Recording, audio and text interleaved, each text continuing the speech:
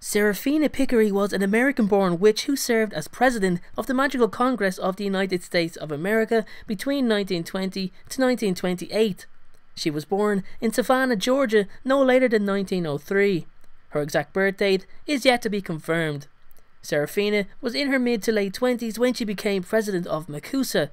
Her term ended in 1928, so it may mean she was killed in the years following the first Fantastic Beasts movie, it could also be possible she stepped down or she was not re elected for some apparent reason. If she willingly left office, however, it does open up a debate on what path she took afterwards. Seraphina attended Ilvermorny School of Witchcraft and Wizardry.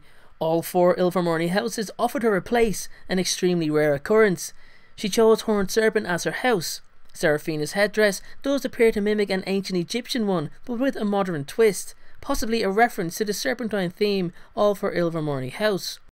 Her wand was made by controversial wand maker Violetta Beauvais, who had acquired a reputation for her wands taking to dark magic almost too easily, which makes one wonder whether Violetta uses some sort of dark magic when constructing wands. She also offers only one type of wood with her wand, Swamp Mayhaw. Seraphina's wand core is Rougarou hair. Although she served as MACUSA president throughout the Prohibition era, Seraphina allowed wizard consumption of alcohol. With the strains on wizard kind at the time, it was her opinion that life was difficult enough without the restriction on alcohol. Seraphina was a very charismatic, strong woman who demonstrated excellent leadership qualities. She very rarely showed compassion for people in a situation that would contradict the protection of wizard kind. For example, in spite of his tremendous efforts to actually assist Newt in the recapturing of the escaped beasts, she insisted Jacob Kowalski be obliviated as his knowledge of the magical world proved to be too great a threat.